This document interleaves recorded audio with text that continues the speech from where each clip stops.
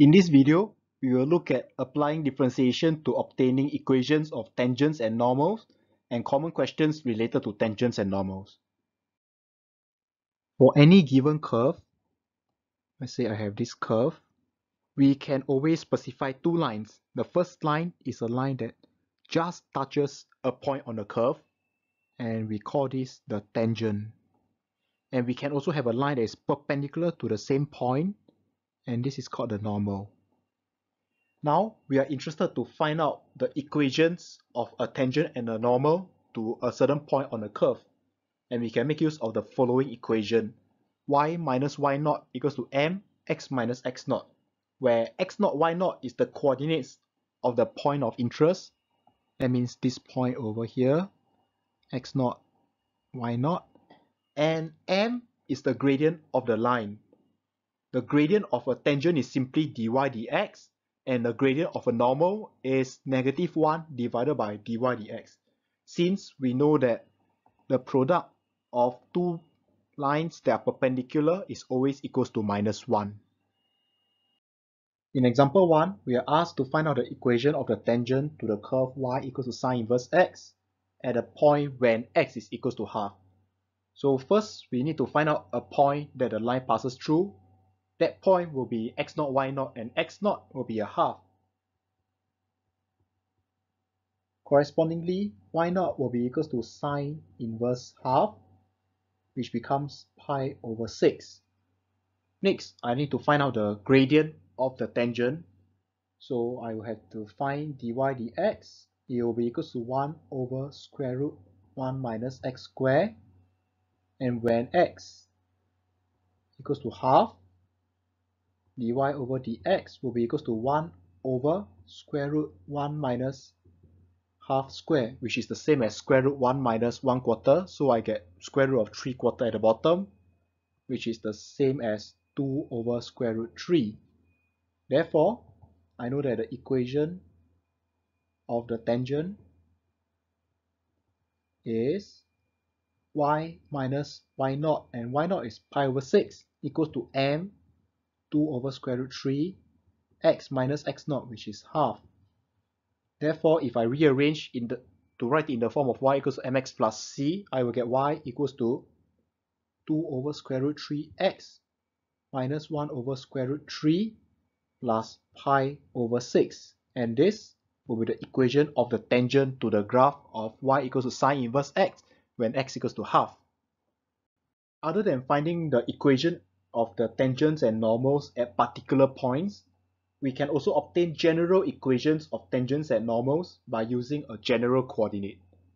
For example 2, we shall determine the general equation of a tangent to a curve. And this curve has been defined parametrically as x equals to sine t, y equals to cos t plus t. And the point of interest is sine t cos t plus t. That means we do not sub any particular value of t into the equation, but instead we just let it be t and t can be any real value. So we need to find out what is the gradient of our tangent, which means dy dx. So dy over dx, we know it is dy over dt divided by dx over dt. And dy over dt is negative sine t plus 1 divided by cosine t. Now we have everything that we need to form the equation of the tangent since we do not need to substitute any particular value of t. So therefore, equation of tangent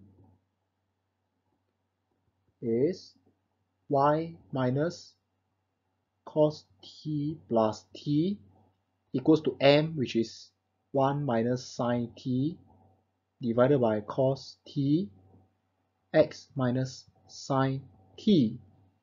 And if we were to rearrange, it becomes y equals to 1 minus sine t over cos t times x minus 1 minus sine t over cos t times sine t plus cos t plus t and this is the equation of the tangent at the point sine t cosine t plus t.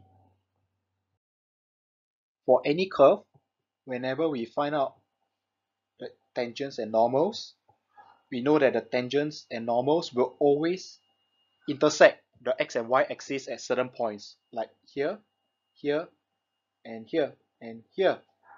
And the points together with the original point will form certain triangles and sometimes we are asked to find out the area of these triangles. If the triangles have their bases on the same axis like this or this, we can find out the area of these triangles very easily by using half base times height. However, sometimes we may be asked to find out triangles where they have points like this. And it is more difficult for us to define what is the base and what is the height. And in such cases, we will make use of the shoelace method to define the area of the triangle. To use the shoelace method, we can write half times of a big pair of modulus, then pick a random vertex on a triangle, which I call it point A, with coordinates of x0, y0. I will write down these coordinates as the first column of my modulus. Next, I will move anti-clockwise to the next point, which is B, with coordinates of x1, y1, and I'll write down their coordinates as the second column, and subsequently move to point C with x2, y2, and I write the coordinates down in the third column. Finally, I will repeat the coordinates of point A again as the final column in the modulus. To evaluate this modulus, what we have to do is to first multiply all the terms that are connected by a downward arrow like this. And uh, we will subtract them by all the terms connected by the upward arrow. So we have x0, y1 plus x1, y2 plus x2, y0 subtracted by the sum of y0 x1, y1 x2, and y2 x0. Evaluating this entire term over here will give us the area of the triangle.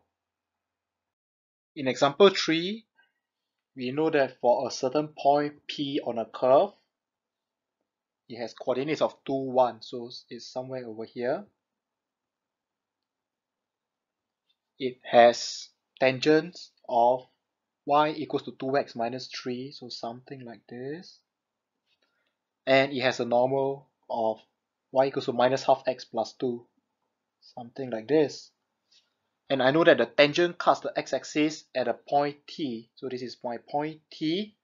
If I substitute y equals to 0 into the equation of my tangent, I will find out that the coordinates is actually 3 over 2, 0. And for the y for the normal, it is going to cut the y-axis at point N, and its coordinate is going to be 0, comma 2. And now I am asked to find out the area of this triangle PTN. And I'm going to use the shoelace method to find out this area. So the area is going to be half. Now I can pick any point to be the first vertex in which I start this modulus, but as a general rule, usually I will try to pick the point with the most number of zeros so as to simplify my calculation later on. So I will use point n 0 2 followed by point t 3 over 2 0 followed by point p 2 1 and finally close off with 0 2 again. Now I just have to expand this. I get half, open a square bracket and now a round bracket where I'm going to do all the downward arrows like this, which are 0 plus 3 over 2 plus 4 subtracted by all the upward arrows, which gives me 3 plus 0 plus 0. And if I evaluate this term over here, it becomes 5 over 4 unit square and this is the area of the triangle PTN. Sometimes a tangent or a normal intersects the curve at multiple points. For example, I may have something like this. My curve looks like this and my tangent goes this way. We see that other than this original point where I found my tangent, this tangent is going to intersect my curve at another point and we need to know how to find the coordinates of these other points. And these other points can be solved very easily by solving simultaneous equations between the equation of the curve with the equation of the either the tangent or the normal.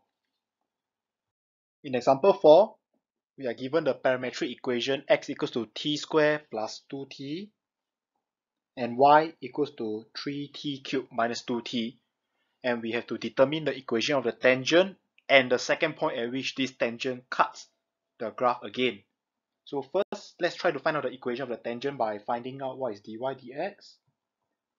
dy dx will be dy over dt, which is 9t squared minus 2, divided by dx dt, which is 2t plus 2. Since we are given a point t equals to 1, we have to find out all the particular values pertaining to t equals to 1. So when t equals to 1, I know that x is going to be 3, y is going to be equal to 1, and dy over dx is going to be 7 over 4. And therefore, I can say that the equation of tangent is y minus 1 equals to 7 over 4 x minus 3. And if I simplify, I will get y equals to 7 over 4x minus 17 over 4 and this is the equation of the tangent. Next, to find out the other intersection point, I simply have to equate the two equations together. So what I'm going to do is to substitute this x and this y into the equation of my tangent. So I am going to solve for equation in terms of t first before substituting this value of t back into x and y. So therefore, I will end up with 3t cubed minus 2t equals to 7 over 4 t squared plus 2t minus 17 over 4.